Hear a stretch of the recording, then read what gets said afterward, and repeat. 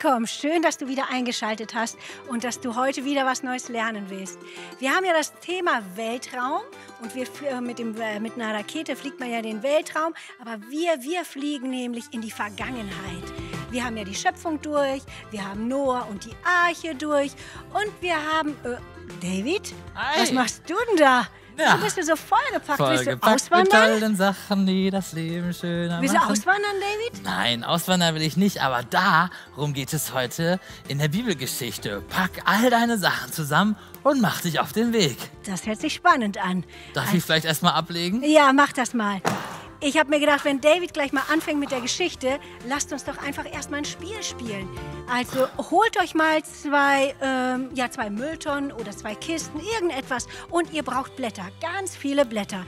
Wir, ich habe nämlich ein Spiel, das wir, tja, das, also das sind, danke David, das sind unsere, das ist das Weltraum. Wir haben zwei Welträume.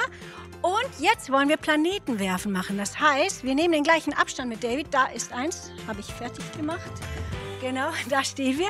Und jetzt knüllen wir hier die Sterne. Das sind unsere Planeten dann. Okay. Die Sterne. Und äh, wer die meisten dann getroffen hat ins schwarze Loch, das heißt bei uns in die Mülltonnen, der hat gewonnen. Ah ja. Okay. Okay. Dann legen wir los, ne? Und haben wir eine Zeitbegrenzung? Ja, genau. Du, wir machen genau. Wer die ersten fünf hat, der hat gewonnen. Gut, die das ist ersten doch gut. fünf drin. Okay. Ich habe quasi das weiße Universum. Ja, warte mal, Okay. die stehen nicht ganz richtig, aber ich mache das mal gerade. Ja.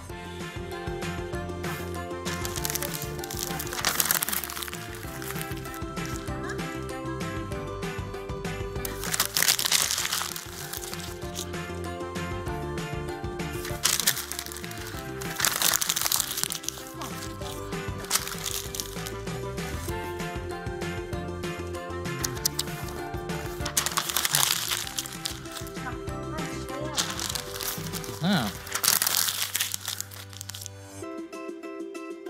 Ah!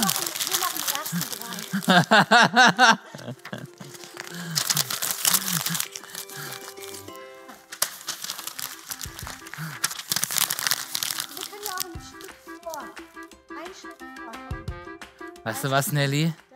Ich glaube, so ein richtiges Universum, das kann nur unser Herrgott erstellen. Das Spiel macht trotzdem viel Spaß. Ja. Ihr dürft das zu Hause gerne noch weiter ausprobieren. Wir sind Gewinner der Ihr Herzen. könnt das auch ausprobieren, euch rückwärts hinzustellen. Vielleicht trifft man ja so. Aber wir machen jetzt hier erstmal weiter. Pack deine Sachen und geh los. Es gibt eine Familie in der Bibel. Das ist Abram und Sarai. Falls ihr euch jetzt wundert, die sind mehr bekannt als Abraham und Sarah. Aber dazu später mehr. Und es ist nämlich so, dass Gott mit Abra Abram spricht. Jetzt habe ich doch irgendwo hier meine Bibel. Ah, jawohl. Da möchte ich euch was draus vorlesen. Und zwar steht das im 1. Mose 12, die ersten Verse. Und der Herr sprach zu Abram, Geh aus deinem Land und aus deiner Verwandtschaft und aus dem Haus deines Vaters in das Land, das ich dir zeigen werde. Und ich will dich zu einer großen Nation machen und ich will dich segnen. Und ich will deinen Namen groß machen und du sollst ein Segen sein. Und ich will segnen, die dich segnen. Und wer dir flucht, den werde ich verfluchen. Wow. Also, da ist ein Mann, der hat ziemlich viel Vieh, eine ziemlich große Verwandtschaft, eine Frau. Das Einzige, was er nicht hat, ist eigene Kinder. Und Gott sagt zu ihm, mach dich auf den Weg, pack deine Sachen und geh los. Jetzt müssen wir uns das so vorstellen. Damals hatten die keine Häuser, sondern eher so Zelte. Und hat, er, Gott hat quasi zu ihm gesagt, pack deine Zelte ein. Also stellt euch mal vor, in heutiger Zeit einmal das ganze Haus, das Mauerwerk runterbauen, alles in den Rucksack packen und los. Und das war jetzt nicht nur so ein kurzer Weg, sondern hunderte Kilometer weit weg. Abraham und Sarai haben aber Gott treu gehorcht und haben sich auf den Weg gemacht und sind losgegangen. Das war nicht so eine Tagesreise, so kann man sich das nicht vorstellen. Auch nicht eine Woche, auch nicht einen Monat, die waren wirklich Jahre unterwegs. Und als sie dann endlich in dem Land angekommen sind, da haben sie sich gefragt, hm, okay, jetzt sind wir hier. Aber was ist denn jetzt mit Nachkommen? Jetzt habe ich ganz vergessen, überlegt mal, oder was, was, was glaubt ihr? Wie alt könnte denn der Abram und die Sari gewesen sein, Sarai? Wie alt waren die wohl so? Ich sag euch, die waren keine 20.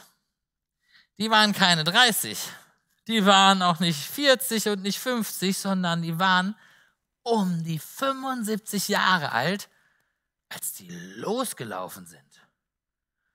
Jetzt könnt ihr nachher mal eure Oma und Opa anrufen und fragen, wie alt die so sind, dass ihr ungefähr einen Zahlenvergleich habt, wie alt das schon ist. Dann sind sie in dem neuen Land und es passiert aber nichts. Dann spricht Gott wieder mit ihnen und sagt, doch, mein Wort ist wahr und ich werde das wahr machen, was ich euch versprochen habe. Und dann gibt Gott ihnen neue Namen.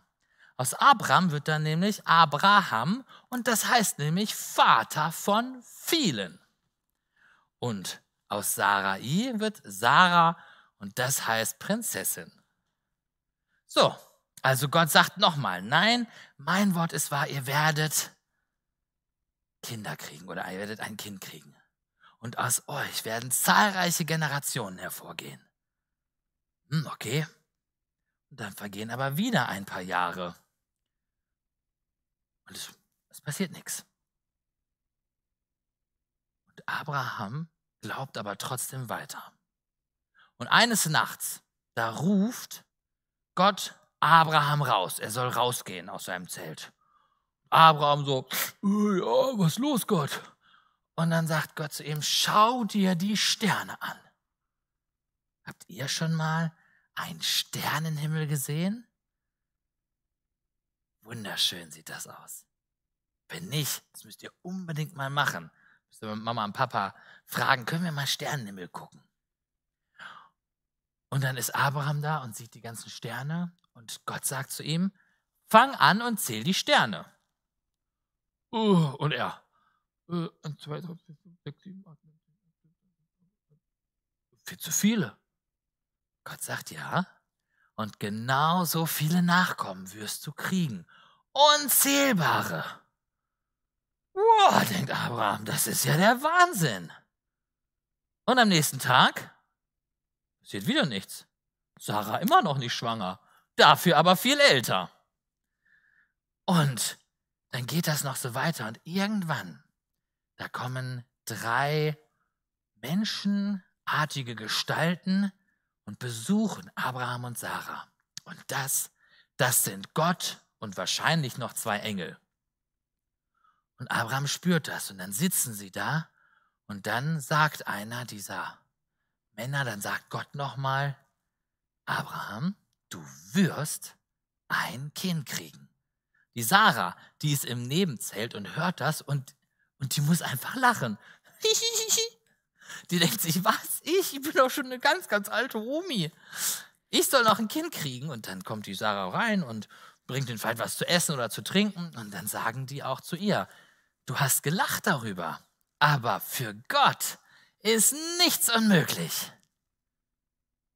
Ein Jahr später kriegt Sarah ihren Sohn. Boah, so lange haben die darauf gewartet.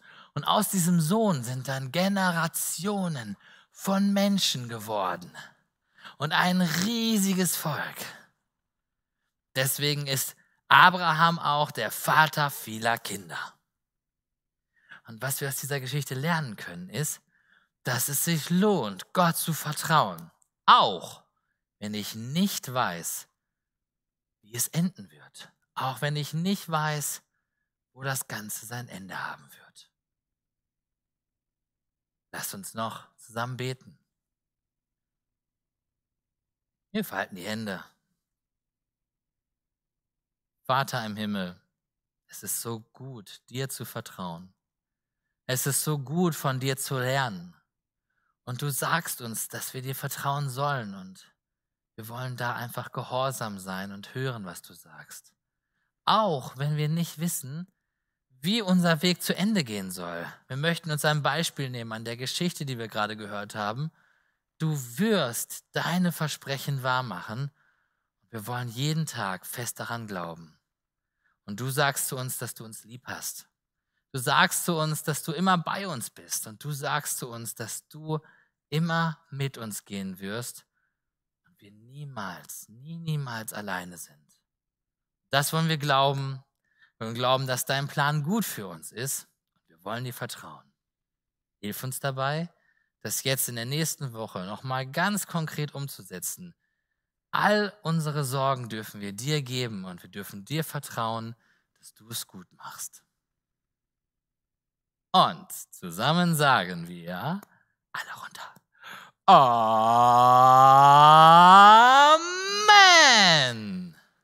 Wir wünschen euch eine richtig schöne Zeit. Wir wünschen euch Gottes reichen Segen und wir freuen uns, wenn wir uns das nächste Mal wiedersehen. Auf Wiedersehen!